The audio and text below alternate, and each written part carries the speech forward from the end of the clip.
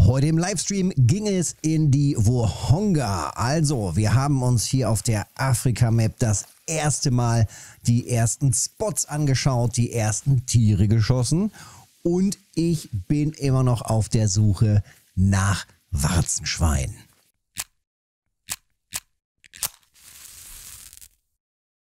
Ja, mittlerweile habe ich einiges an Strecke schon zurückgelegt, also eine ziemlich gerade Linie vom Start sozusagen angefangen. Hier mich so ein bisschen Stück für Stück weiter vorgearbeitet. Der Wind hat auch immer gut mitgespielt und jetzt geht es hier schnurstracks nach oben bis in den hohen Norden.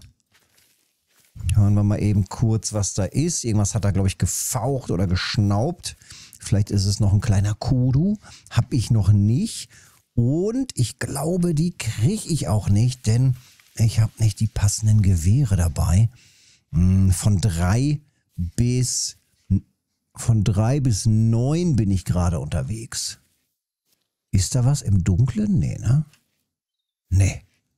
Also, ich laufe noch ein Stückchen weiter. Einfach straight up nach Norden. Dann habe ich einmal die Map quasi von, naja, nicht ganz, fast von Süd bis nach Nord einmal durchquert.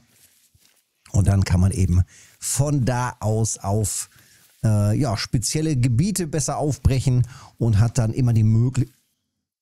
Warzenschweine. Da, da, da, da, da, da, da, da, da, da, da, da. Da, da sind sie. Gerade gespawnt oder was? 380 Meter?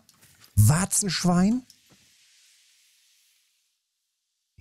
Exakt. Da sind sie. Okay, markiert. Da sind sie, laufen weiter nach oben. Und ich gehe langsam rein. Und im Bereich von ungefähr 200 Meter nochmal mehr Entdeckung, leise vorwärts. Okay, hier haben wir schon die ersten Spuren. Ich bin allerdings noch, ja, 200 Meter entfernt. Kleines Kodo-Bedürfnisgebiet, auch nicht verkehrt. Aber da gehen wir mal ein anderes Mal gezielt drauf. Die sind ja auch häufig am Wasser anzutreffen. Oh, erste Spur vom Kaffernbüffel. Männlich, 800 bis zu 800 Kilo. Oha. Die, ja, die würde ich auch mitnehmen. Passende Munition hätte ich dabei. Wurde mächtig ausgestattet. Und da hinten war die Markierung. Ich versuche hier oben auf den Berg hochzukommen. Ähm, also nicht unten entlang, sondern die Kurve oben drüber, damit ich dann vom Berg aus runter gucken kann. Okay. Genau. Also hier jetzt lang und dann darf oben auf diesen Hügel. Denn die sind ja hier in dem Bereich, sind ja rumgelaufen und müssten demzufolge irgendwo hier, hier ist ja der Hügel oben, beziehungsweise hier ist der Hügel, ne? Ich gucke ja gerade schon genau in die Richtung. Die werden dann irgendwo hier so herumlaufen sein. Gucken wir mal. Ich hoffe, ich hole die noch ein. Kann man mal machen. Kleiner Kodo, Alter, du bist ja drauf. Joggt der hier einfach an mir vor vorbei? Und noch einer. Aber die haben alle Glück. Wobei, die sind auf äh, Waffenklasse 4. Könnte ich auch mitnehmen. Ab 4 habe ich doch alles dabei. Oder 3 bis 8 und 7 bis 9. Aber da ich jetzt hier so viel Strecke gemacht habe, um den ollen Warzenschwein zu folgen, will ich das natürlich nicht versauen mit dem ollen kleinen Kodu. Und ein Kodu habe ich auch schon, ja, wenn mich nicht alles täuscht, ein besonderes in der Lodge, also im, in der Trophy-Halle sozusagen.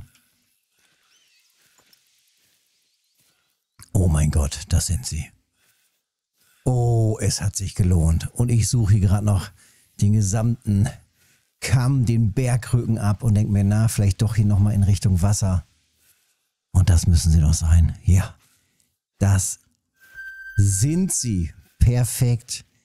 Ein Dreier, ein Dreier, ein Einser, noch ein Dreier, noch ein Dreier. Oh Mann. haben die mich in die Irre geführt. Wahnsinn. Über die Straße. Links, rechts. Die Spuren waren wild. Sehr, sehr wild. Endlich die Wildschweine. Erster Kontakt mit einem Trinkgebiet bis 18 Uhr. Und das ist nicht mehr lange hin. Viertelstunde noch. Was sagt die Entfernung? Die sagt knapp 200 Meter. Das heißt, ich gehe noch mal ein bisschen schneller, damit ich hier noch ein bisschen Zeit habe, das Ganze mir im Detail noch mal anzuschauen. Oh, noch eben die Markierung dahin. Und vielleicht ist ja hier auf der linken Seite auch noch was. Denn eigentlich fehlt mir noch mal so ein richtig großes. Werden die nicht noch größer?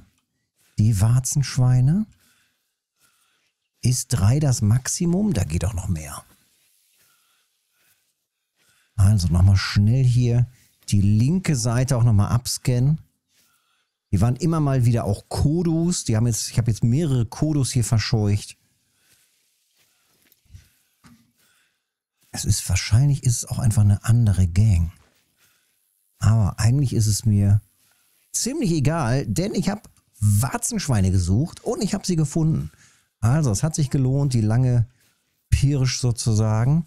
Jetzt, ja, bloß noch den richtigen Winkel hinkriegen, den richtigen Abstand natürlich auch noch, dass ich die passend auch noch schießen kann. Und natürlich das passende, das Größte da rauskriege von den Warzenschweinen. Vielleicht sogar noch was Besonderes. Gucken wir auch gleich mal. So, hier ist natürlich noch mal ein bisschen getan. Theoretisch könnte ich auch anlocken. Ja, aus der Tarnung hier heraus. Mit dem Caller. Wäre natürlich noch mal eine Option, denn hier an der Straße bin ich natürlich absolut offen.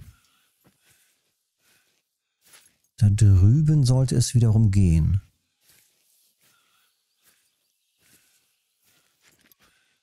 Aber ich gehe trotzdem rüber und gehe dann am Gras entlang sozusagen.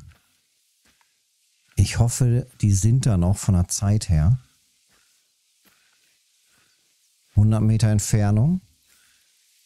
Aber jetzt langsamer werden auf jeden Fall wieder.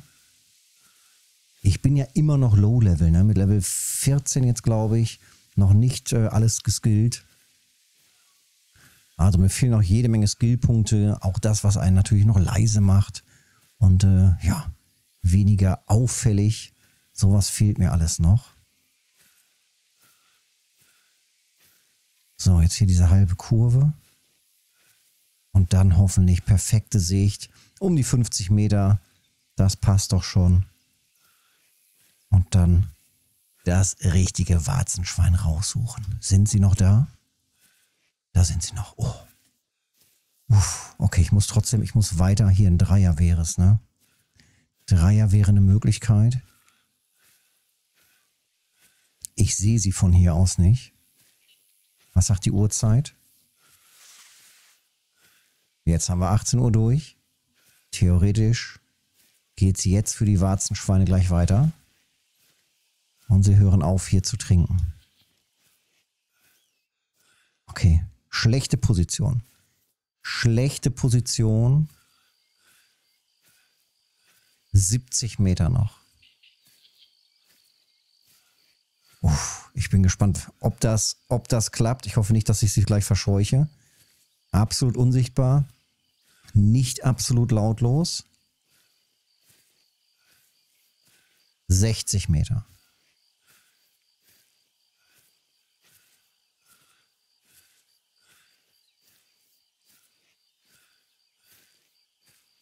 glaube, da vorne sehe ich schon Spuren durch, ja. Genau. Habe ich jetzt hier eine Möglichkeit, irgendwas zu sichten?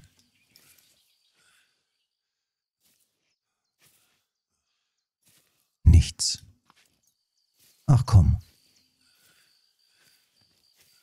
Da.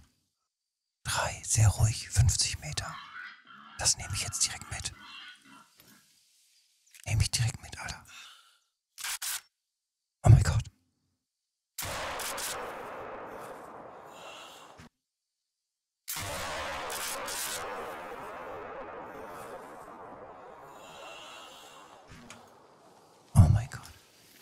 Und sie greifen an.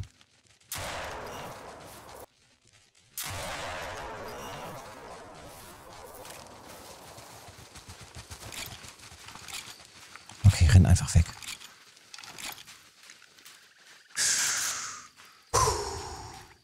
Oh, die ersten Warzenschweine. Hui. Okay. Erste, was mich. Okay. Direkt Schädel. Vier. Weiblich. Dunkel. Ja, sehr cool. Sehr wild. Aber Trophäe beschädigt. Leider natürlich schlecht, weil direkt Headshot durchs Hirn. Hat aber auch gut gestoppt, würde ich sagen. Ah. Mann, Mann, Mann, Mann, Mann, die Warzenschweine, ey. Ich suche ein paar coole Warzenschweine. Ich suche ein paar coole Warzenschweine. Vielleicht ist das hier die Warzenschwein-Area. Das wäre natürlich der Oberhammer. Und passenderweise habe ich ja jetzt hier die letzte, die letzte, ähm, den letzten Startpunkt sozusagen. Das heißt, ich kann von hier aus ganz oben im Norden die gesamte Area hier schön absuchen. Ich werde hier die nächsten ähm, Häuser sozusagen, die Zeltplätze auch noch mitnehmen. So, was haben wir hier? Das war der erste Silberwertung. Auch jetzt nicht so gigantisch, aber fies, wütend, fette, richtig fette Zähne hier, richtig fette Hauer. Männlich, grau. Ja, große Stoßzähne. Nicht so schlecht. 1000 an Geld. 100% effizient, denn durch beide Lungenflügel durch. Richtig schön. Und das mit der Moradi. Denn äh, die Moradi jetzt frisch erstmal geholt, frisch im Einsatz und äh, frisch getestet, den Ballermann. Das Ding haut schon richtig gut rein und ich bin noch mit der Normalmunition hier unterwegs. Ihr seht es unten an der Aufpilzung. 70er Aufpilzung. Das Ding haut einfach mächtige Löcher rein und hat trotz allem noch, gerade für die kleineren Tiere, wenn man hier jetzt im Bereich ist, drei, vier, fünf vielleicht, haut das noch richtig gut auch in der Tiefe rein. Das heißt, man ist immer noch in den Organen gut drinne und hat dementsprechend große Löcher. Bam! Mächtiges Teil. Ähm, ja, die andere Munition kann ich noch nicht.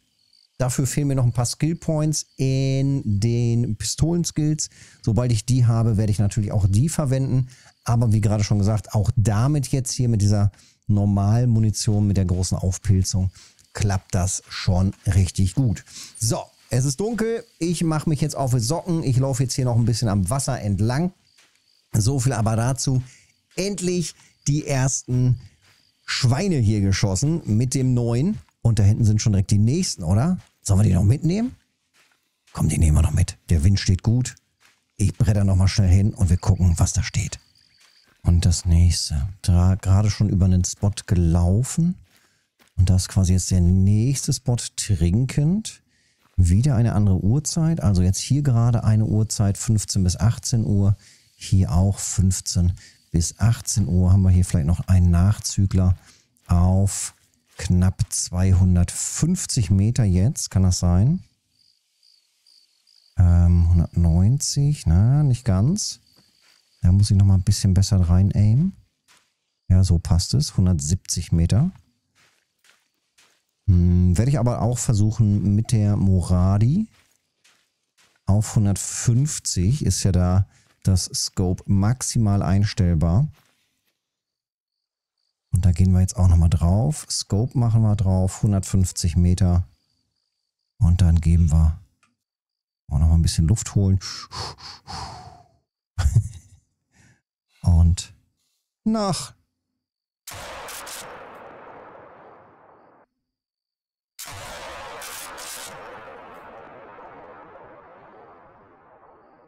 Ist das der Hammer? Oder ist das der Hammer? Es ist einfach ein, Hammer ein Hammer-Ballermann.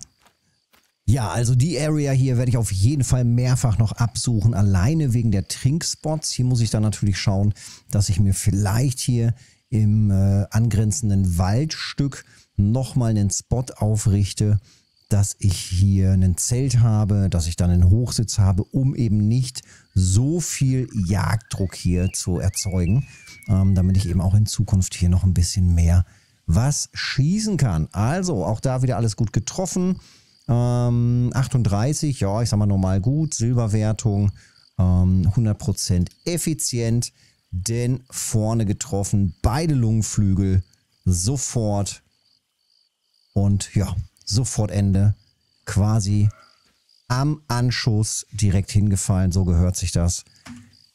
Gar nicht lange gewackelt und weggerannt. Kratsching. Abgefahren. Ja, ganz, ganz, ganz wilde Area hier ähm, für die Warzenschweine absolut effektiv.